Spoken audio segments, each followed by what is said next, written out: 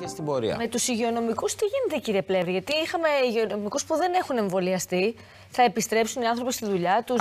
Αυτή, τη στιγμή, αυτή τη στιγμή είναι σε αναστολή μέχρι τέλη του χρόνου. Η απόφαση που έχουμε πάρει είναι ότι θα εξετάσουμε τα επιδημιολογικά δεδομένα του Οκτωβρίου και εντός του Οκτωβρίου θα πάρθει απόφαση και για την, ε, τα τεστ τα οποία θα γίνονται, αν θα συνεχίσουν και σε ποιο βαθμό, καθώς επίσης και για την τύχη των ανεμβολίων υγειονομικών. Δηλαδή, αντί η απόφαση να πάρθει στα τέλη του χρόνου, θα εξετάσουμε τα επιδημιολογικά δεδομένα του Οκτωβρίου και με βάση αυτά τα επιδημιολογικά δεδομένα θα πάρθει απόφαση αν θα επιστρέψουν ή όχι νωρίτερα. Ακριβώς η θέση μας είναι ότι οι ανεμβολίαστοι υγειονομικοί ακολουθούν και αυτή την πορεία της πανδημίας. Στο βαθμό λοιπόν που δεν θα χρειάζεται από την πίεση την οποία έχουμε να παραμείνουν στην αναστολή, δεν θα παραμείνουν.